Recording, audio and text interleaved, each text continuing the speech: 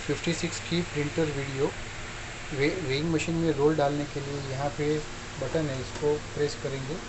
तो आ जाएगा। इस तरीके से आपको स्टिकर का रोल अंदर डालना है और फ्लैग बंद कर देना है। वेइंग मशीन के बैक साइड डिफरेंट पोर्ट्स दिए है। ये सेंसर का कनेक्टर है। ये ऑन ऑफ़ बटन है। ये सप्लाई के लिए पिन दिया गया है। यहाँ पे पेन ड्राइव के लिए यूएसबी पोर्ट है और यहाँ पे कीबोर्ड आपको कंप्यूटर का कीबोर्ड अटैच करना है तो उसके लिए यूएसबी पोर्ट है। वेइंग मशीन में जो ऑन ऑफ़ की दिया है, उसे वेइंग मशीन ऑन करना है तो इस तरीके से वेइंग मशीन ऑन हो जाएगा आपका।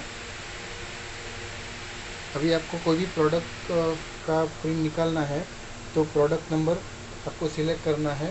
वन नंबर प्रोडक्ट सिलेक्ट किया, यहाँ पे प्रोडक्ट का नाम आ जाएगा आपका।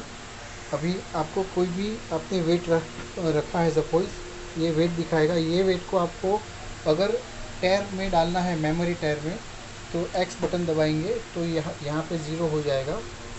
फिर आप जो वेट ऐड करेंगे, वो वेट शो करेगा। अभी इसका आप जब भी प्रिंट निकालते हैं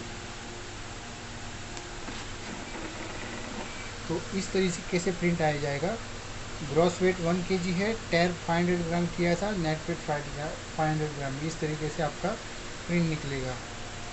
अभी ये प्रिंट में जो सीरियल नंबर है, आपको सेट करना है आपके हिसाब से तो आप डिस्क्रिप्शन की दबाएँगे तो यहाँ पे सीरियल करके आएगा। ये जो ब्लिंक हो रहा है, वो नंबर आप चेंज कर सकते हो। वो ब्लिंक आगे करने के लिए ये एरो की से आप आगे कर सकते हैं। इस तरीके से आप सीरियल नंबर वन भी सेट करते ये सकते हैं।